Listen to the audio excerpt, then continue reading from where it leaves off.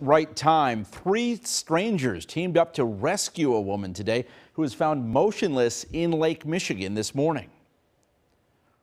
I was running by the lake and saw um, saw a lady pretty motionless in the water.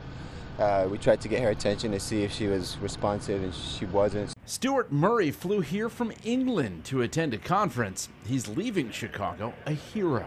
I took my shoes off, took my shirt off, jumped in, and with John's help, we managed to get her out. Um, some other folks helped perform CPR, and she looks like she's doing okay. Our tower cameras captured the drama as Stewart and others pulled the woman from Lake Michigan near North Avenue Beach. They were on the phone with 911 and they asked if anyone knew CPR, and I did. So once we all got her out of the water, I started CPR. Her lips were blue, but she was breathing. The woman was rushed to Northwestern Memorial Hospital. And the fire department was quick. It's pretty impressive. There were no beach warnings in effect this morning. It's not known how the woman wound up in the water.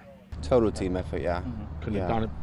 Couldn't have done it by myself. He couldn't have done it by himself. Right. Absolutely. Just hope she's all right.